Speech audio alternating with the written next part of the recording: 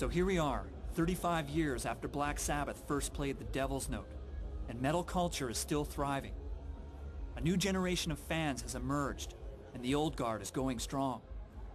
But I set out on this journey to answer one question. Why has heavy metal been consistently stereotyped, dismissed, and condemned? And what's become clear to me is that metal confronts what we'd rather ignore. It celebrates what we often deny. It indulges in what we fear most. And that's why metal will always be a culture of outsiders.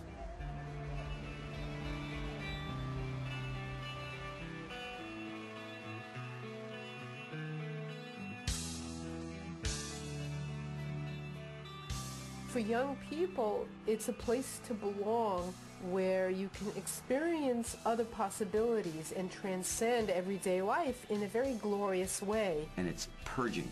I think metal performs that task of sort of letting us get rid of a lot of tension. It's a catharsis. You want to have people get up and start leaping around and falling off the furniture. You know, that, that's, that's, that's what it's for. I think people in, in their own way have different releases. It's something other than your mundane life. It's about the idea that perhaps the way people feel is as important, maybe more important than how they think. I don't really know why it's so important, it just is. And I think I'm a much better person now that I've been listening to metal. It doesn't judge me, it doesn't criticize me, it's just always there for me, always. For metalheads, good, beauty, and truth is up on stage there.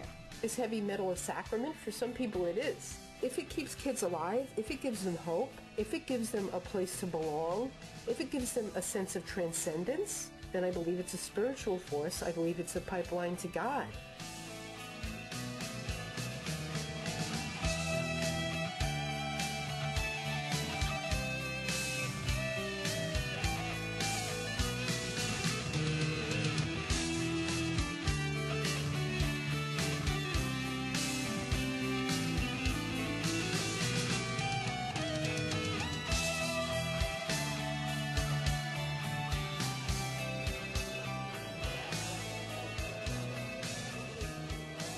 Ever since I was 12 years old, I've had to defend my love for heavy metal against those who say it's a less valid form of music.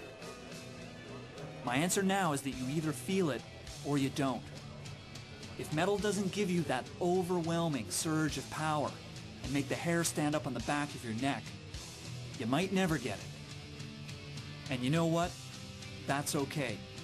Because judging by the 40,000 metalheads around me, we're doing just fine without you.